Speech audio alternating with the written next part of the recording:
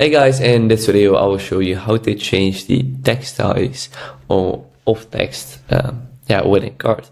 So basically uh, you need to select this text as you can see and you see a lot of options. So you, you see text, you see appearance, you see uh, animation and you see settings. So you can first tap on text and you can change uh, yeah, for example this to um, normal text or you can make it bold so it becomes a little bit bigger. But if you want to really change the text, you need to go to appearance or the size of the text. I mean, and here you can see size. As you see size, now it's at 2.375, but you can change this size easily by just swiping up and, you know, like this.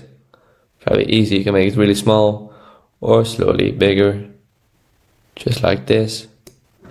And this fits yeah the element nicely. So again tap on this. Go to appearance scroll down. And here you can change the text very easily.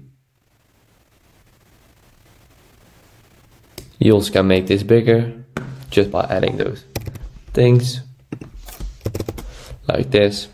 But now you need to make this smaller in order to fit.